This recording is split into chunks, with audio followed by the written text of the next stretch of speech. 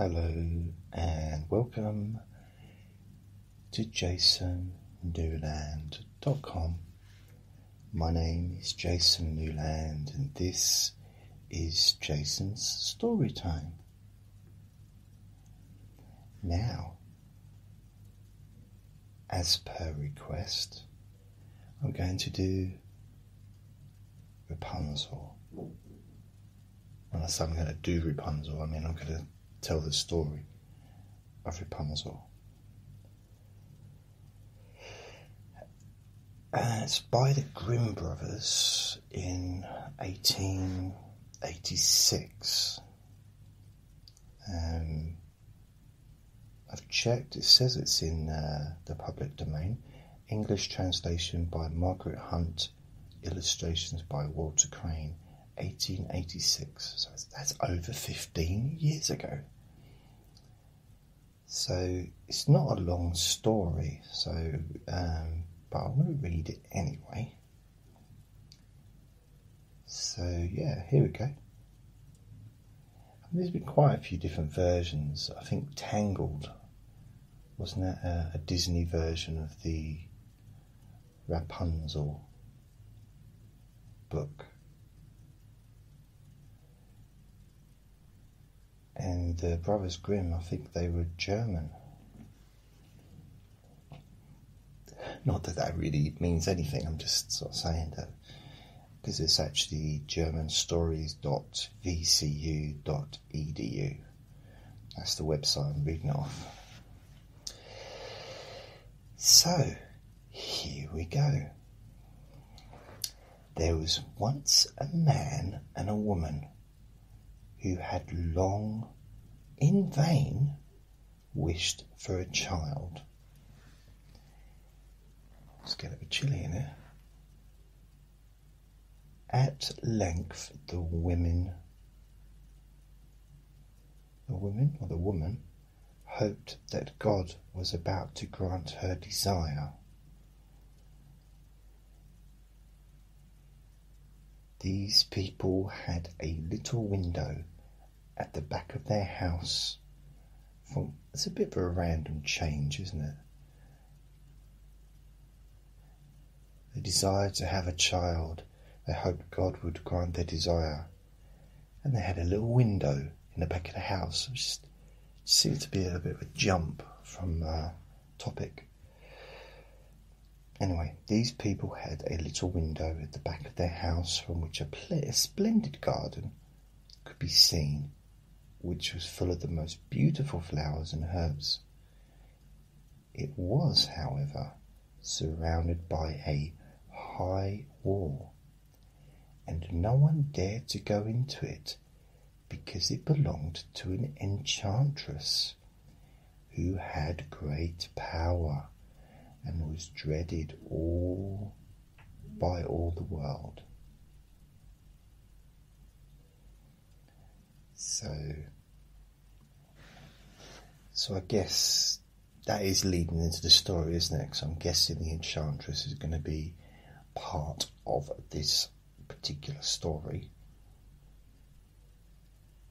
So that's I suppose looking through a window at something that you can't have, can't belong because it doesn't belong to you, is what they're doing in a sense. They're looking through that window of the garden, they're not, they're not allowed in the garden.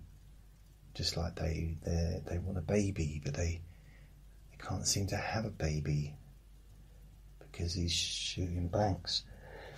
One day, the woman was standing by his window. The woman, oh, this window, not his window. Um, uh, one day, the woman was standing by this window and looking down into the garden when she saw a bed which was planted with the most beautiful rampion.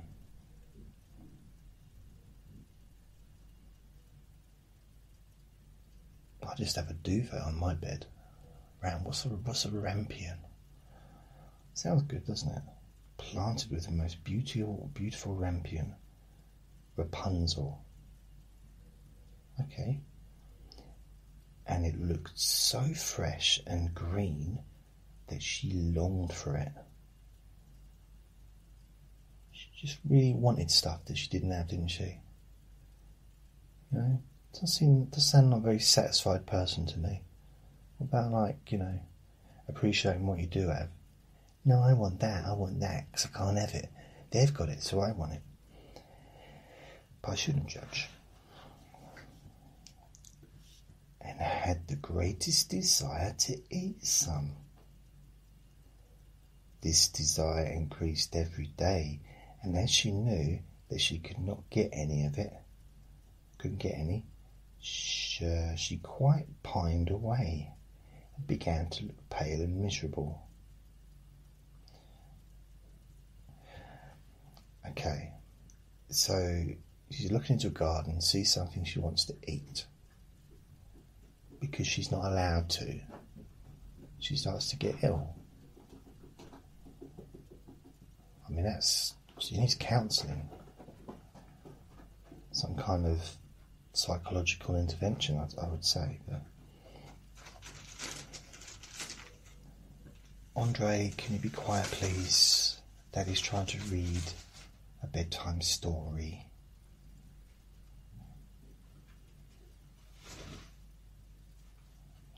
It's hard to get any kind of peace around here. Wish I had a garden with some rampion in it. some Rapunzel rampion, whatever that is. Anyway, then her husband was alarmed and asked, Andre, would you shut up? That's not what the husband said. And Andre isn't part of this story, but he is trying to be.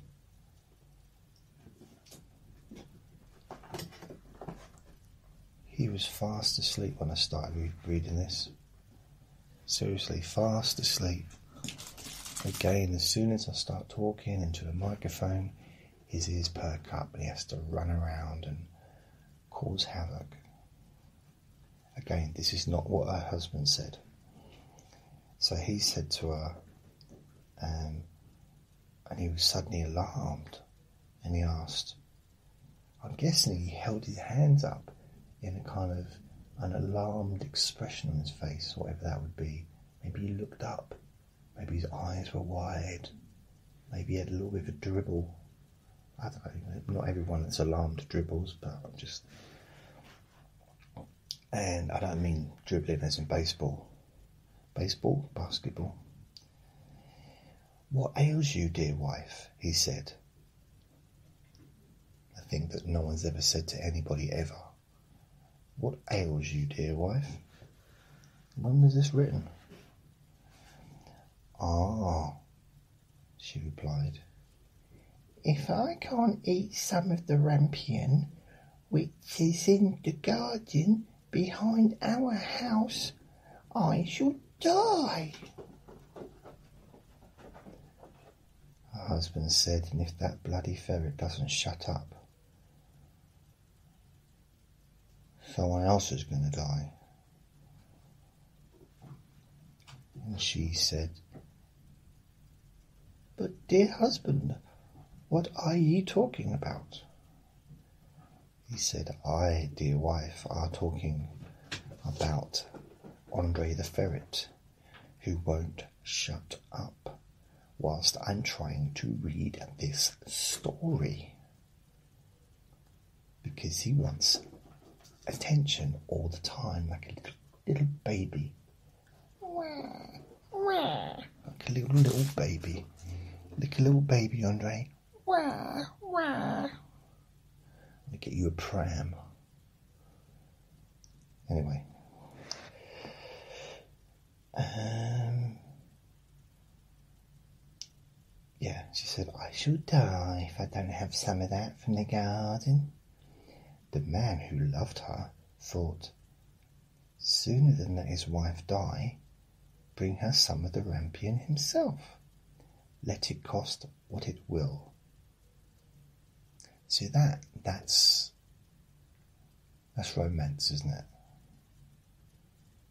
You know, living next door to some witch that could turn you into a prince or whatever, like or glockenspiel. It's like, no, oh, I'm gonna, I'm gonna do it because I love my wife. So um, I'm thinking about it really though, because it's not realistic, is it? I think it sounds like she probably had a spell put on her, which is why she wanted she she wanted this thing so much. Anyway, the man who loved her thought, eh. so at twilight he clambered down over the wall into the garden of the enchantress, hastily clutched a handful of rampion and took it to his wife. Again, you may want to Google rampion. I can't be bothered. Should I look it up? Let's have a look it up. I've got a thesaurus on here somewhere. Thesaurus, where's my thesaurus? Dictionary. Rampion. Rampion. R A M P I O N. Okay, no such word exists. No such word exists. Brilliant. That's great. Thank, thanks a lot. So I've got no idea what it is.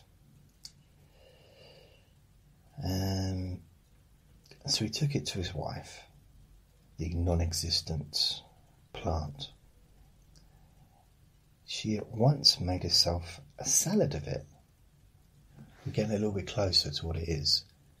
I'm guessing it's some kind of green vegetable kind of salady. Well, clearly because she's making a salad of it. Maybe like parsley or lettuce, possibly that kind of thing. So she once made herself a salad of it and ate it greedily. They're not really painting a nice picture of her, are they? I think greedy is the real kind of word connected to her. Greedy, wants what everyone else has, not satisfied with what she's got herself. It's a lot of greed, not very greedy. I don't think it's fair. You know why? We're only like a little bit into it, yet she's being tarred with this brush of greed. She might be a really lovely person. I'm a little bit upset. Anyway, it tasted it tasted so good to her, so very good, that the next day she longed for it three times as much as before. Yeah, she is a bit of a pig. I mean, that's that's greed, isn't it?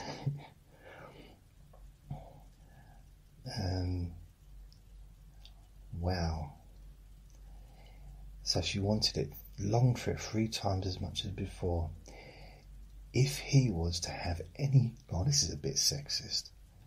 If he was to have any rest, her husband must once more descend into the garden. If he must have any rest. Before he was doing it because he loved her. Now he's just doing it to shut her up. Oh, dear. Marriage guidance counselling, I, I'm thinking. Anyway, in the gloom of evening, therefore, he let himself down again. I think we've got to use that in a different term. He did let himself down again by stealing. It's no justification.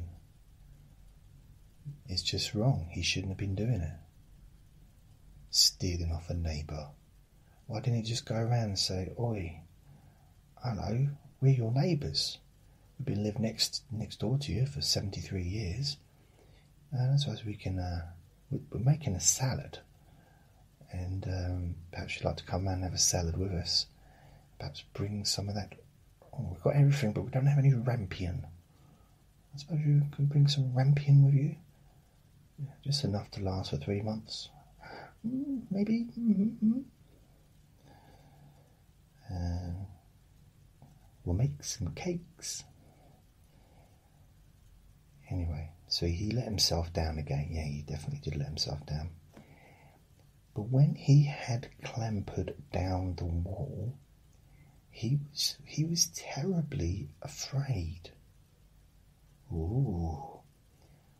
For he saw the enchantress standing before him. How dare you? Oh, that's not actually no. How can you dare? She said, or said she, back to front there, said she with angry look. Not with an angry look, just with angry look. Descend into my garden and steal my rampion like a thief. You shall suffer for it.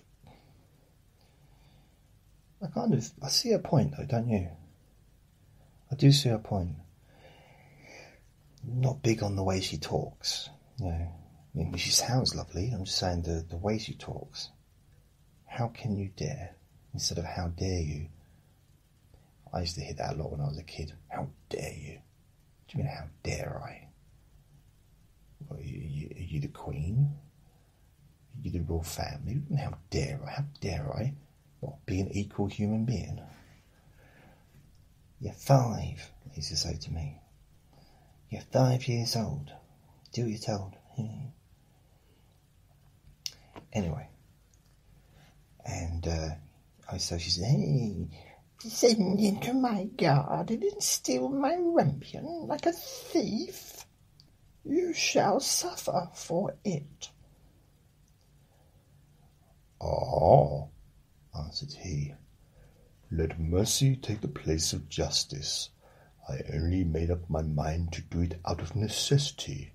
My wife saw your rampion from the garden, from the window rather, and felt such a longing for it that she would have died if she had not got some to eat.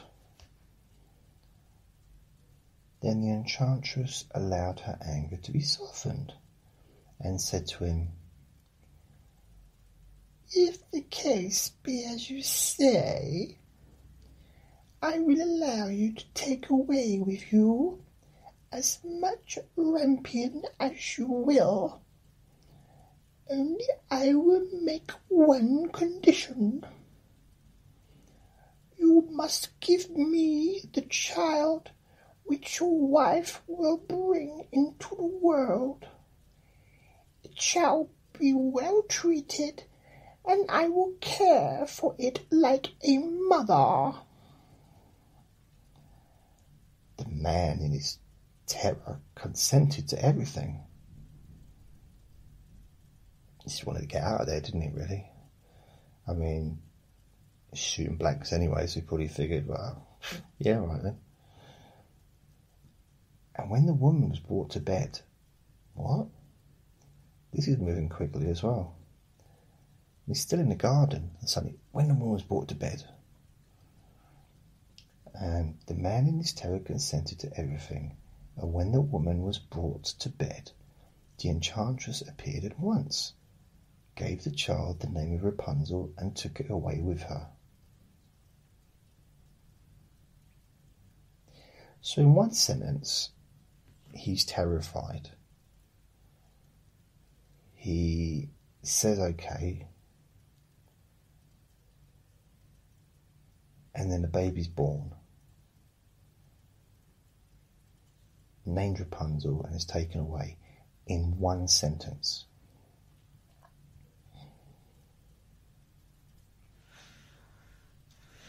I do think they could have extended it a little bit.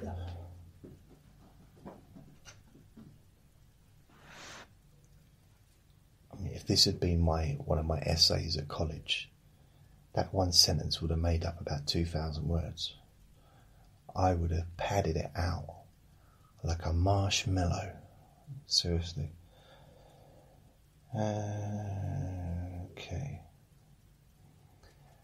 Rapunzel grew into most beautiful child under the sun. When she was twelve years old, she already she gave birth to her fifteenth child. When she was twelve years old, the enchantress shut her into a tower which lay in a forest and had either neither stairs nor door, or neither stairs nor door, but quite at the top, but quite, but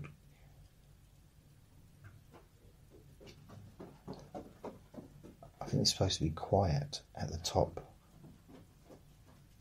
Oh, but quite at the top was a little window.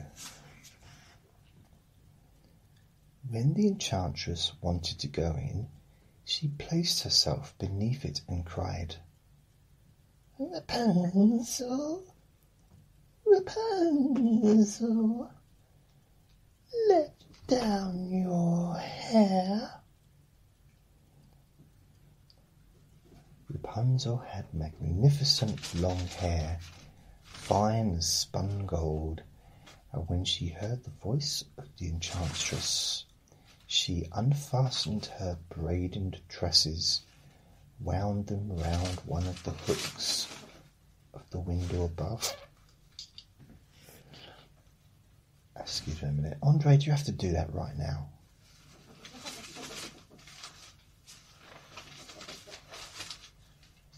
For those of you that don't realise, Andre's a ferret and he's decided to start date night early with my old slipper. I'll try and let's just forget that. Let's move on with this. What? Go away. Andre, go away.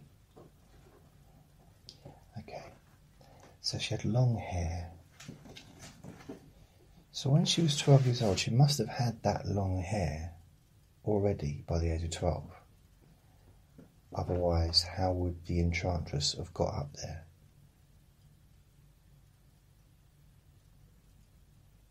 Hmm. I mean, would hair. I used to grow, I had my hair grown when I was about. Started growing it when I was about mm, 20. And it took about. Yeah. Took well over a year, maybe two years, before it was halfway down my, my back. I'm going to do the same again, just to annoy people. Hmm. I just don't know. I mean, you think she's up there, she's not having a haircut. Because you do have to have the ends cut off, don't you? The split ends so that it grows, continues to grow, otherwise, it won't. Uh, anyway, and anyway, she she used to lower her hair down, and the hair fell twenty ells down. Twenty ells, wow, that's a long way, isn't it? I've no idea. What's twenty? What's one L? Anyone? Write in and you won't win a prize, but you'll you just feel good about yourself. Anyway, the enchantress climbed up by it, by her hair. See, that was the longest sentence, and all they covered was that she had long hair, and uh, the enchantress would climb up. But the other, shorter sentence went through like a year or nine months of time, like zipped right through it. Uh, after a year or two, it came to pass that the king's son rode through the forest and passed by the tower. He then heard a song which was so charming, excuse me, which was so charming that he stood still and listened. This was Rapunzel. Yeah, we kind of figured that out. And what, what, oh, what do we think? Oh, wonder where he is. Wonder, wonder who he's hearing sing. He's past a, he's past a tower. Wow, wonder whose tower that is. It's Rapunzel's tower. We knew that. Why? This was Rapunzel, who in her solitude passed her time in letting her sweet voice resound. It's another way of saying she'd sing. The king's son wanted. Why don't I just call him a prince? The king's son wanted to climb up to her and looked for the door of the tower. How did the enchantress get her up there? To start with, I mean, originally. Or did they build a tower like along the ground and then just push it up? Stick her in the top and then push it up? Don't. Doesn't go into enough detail. And yeah, so he's looking for a door for the tower, but none was to be found. He rode home, but the singing, we gave up quite quickly, but the singing had so deeply touched his heart that every day he went out into the forest and listened to it. Once, when he was thus standing behind a tree, he saw that an enchantress came there, and he heard how she cried. First of all, what was he doing standing behind the tree? I think we all know. He was doing a wee wee against a tree tree. So that's what he was doing. And how she cried. And she cried, oh, Rapunzel, Rapunzel, let down your hair. Then Rapunzel let down the braids of her hair, and the enchantress climbed up to her. If that is a ladder by which one mounts, I too will try my fortune, he said. And the next day, when it began to grow dark, he went to the tower and cried, Rapunzel, Rapunzel, let down your hair. Immediately the hair fell down and and the king's son climbed up. At first Rapunzel was terribly frightened when a man, such as her eyes had never yet beheld, came over her, or came to her. But the king's son began to talk to her quite like a friend, and told her, he told her that his heart been so stirred that it had let him have no rest, and that he had been forced to see her. Then Rapunzel lost her fear, just slipped away, and when he asked her if she would take him for her husband, wow, this is moving quick again, isn't it? He, uh, when he asked her if she would take him for her husband, and she saw that he was young and handsome, she thought, he will love me more than old Dame Gothel does. Old Dame Gothel? And she said yes, and laid her hands in his. He said to her, Who's old Dame Gothel? She says, I'm not sure, it's just part of the, the story. Yeah, but who is it? She said, I don't know. Is it the enchantress? She looked at him and said, Look, some things don't need to be said. And he looked at her and said, Yeah, but some things do. And can you please tell me? He said, no.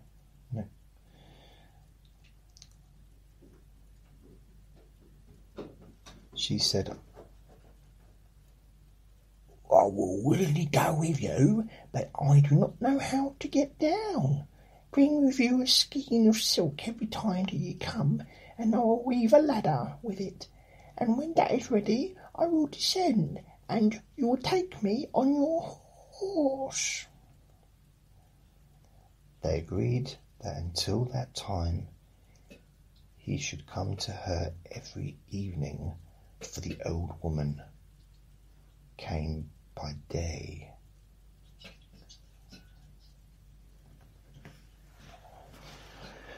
Right, and the enchantress remarked nothing of this until once Rapunzel said to her, Tell me, Dame. Oh, it is Dame Gothel. Tell me. You should have just waited. I don't know why you're so impatient. Why can't you just wait for it to, you know, trying to read the story? Why do you need to butt in all the time? Just, just let me read it. Thank you. I'm trying to offer a service here. I'm trying to help you to sleep. But he's like, "Who's Dame Gothel?" Just, just let me just get on with it. Okay, thanks. Don't mean to be rude. I'm just saying. Tell me, Dame Gothel, Gothel, how it happens that you are so much heavier for me to draw up than the young king's son. He is with me in a moment. Really? Is that what she said? Not great at keeping a secret, was she? Wow. Ah, you wicked child, cried the enchantress. What do I hear you say? I thought I had separated you from all the world, and yet you have deceived me. In her anger, she clutched Rapunzel's beautiful tresses, wrapped them twice round her left hand, seized a pair of scissors with the right, and snip snap they were cut off, and the lovely braids lay on the floor. And she was so pitiless that she took poor Rapunzel into a desert where she had to live in great grief and misery. It was lucky there was a desert nearby, really, wasn't there? I mean, what's the chances? On the same day that she cast out Rapunzel, however, the enchantress fastened the braids of hair which she had cut off to the hook of the window, and when the king's son came and cried, Rapunzel, Rapunzel, let down your hair, she let the hair down. The king's son ascended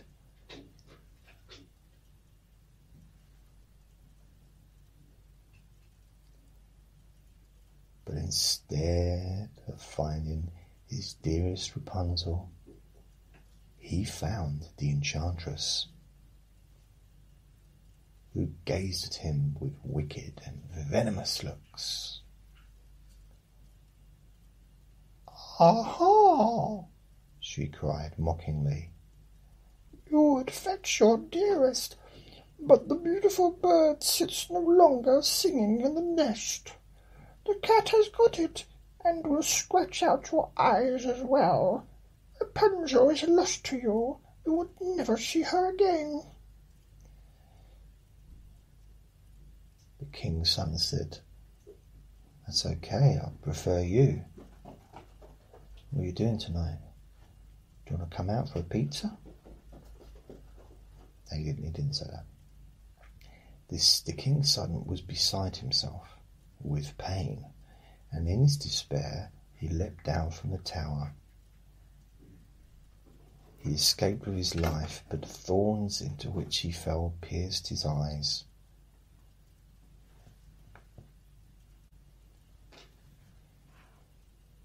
Then he wandered quite blind about the forest, ate nothing but roots and berries, and did nought but lament and weep over the loss of his dearest wife. They weren't married, were they? They weren't married. What they did? They didn't get married. Yeah, they wanted to, but they weren't actually married. I used to work with someone that every two seconds, my fiance, my fiance. Like just, just call him by his name, my fiance, Clive, my fiance. It doesn't mean anything to anyone else, only to you. My fiance. Is it the same for men, wasn't it? My fiance. Yeah. might My betrothed, my betrothed, betrothed, beho, behead, not beheaded, betrothed, betrothed. Anyway, um, thus he roamed about in misery for some years, and at length came to the desert, where Rapunzel, with the twins to which she had given birth,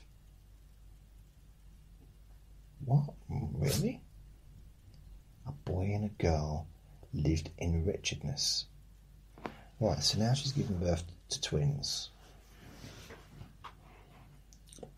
They missed that bit out in the story, didn't they? And he heard a voice, and it seemed so familiar to him that he went towards it. And when he approached, Rapunzel knew him and fell on his neck, and he died instantly. No, and he wept. Fell on on his neck. It's a bit weird, um, but we're actually like a cuddle or a hug. You haven't got to fall on someone's neck. It's better over the top. Yeah, I suppose two wrestlers maybe do that if they fall in love. How did you know you loved each other? Well, he, when he chucked himself on my neck. Yeah, broke my spine and I knew it was true love. And um, two of her tears wetted his eyes and they grew clear again, and he could see with them as before and he saw how old she had become. and he ran her, he ran away screaming. No, and um, oh dear. And he could see with them as before. He led the, he led her to his kingdom, where he was joyfully received. No one had bothered looking for him. You noticed that? He's the king's son. No one went out looking for him. No search parties. For years. Does that. Huh? Huh? Hmm. I mean, if it was Prince Andrew, I'd understand, but, you know, it's. He led her to his kingdom where he was joyfully received, and they lived for a long time afterwards, happy and contented. Oh. Doesn't say happy ever after, though, does it? It's almost opening the possibility of a divorce. I don't know about you, just. Mm.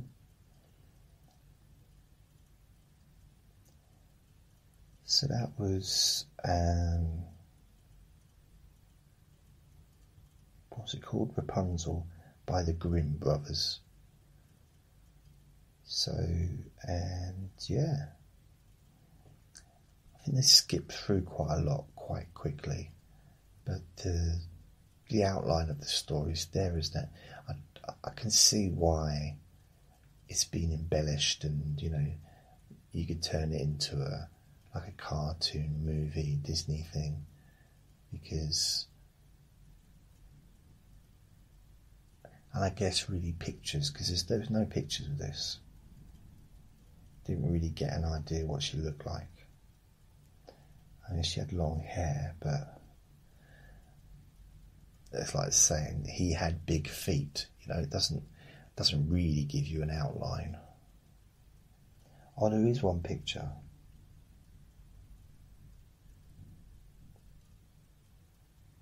Yeah. I found it weird that, you know, he said, Will you marry me?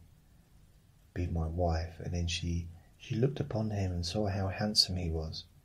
So, what, for the first half an hour, she had her eyes closed, or was she just looking the other way? I don't know.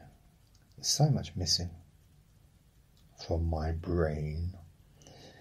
So, thank you very much. That's the end of the Rapunzel. So, I'm going to go. Hope this was sleepy, sleepy, nice and sleepy for you. Remember to be kind to yourself because you deserve to be happy. Lots of love. Isn't it weird now that I've come to the end? Andre is quiet. Bless him. Bye.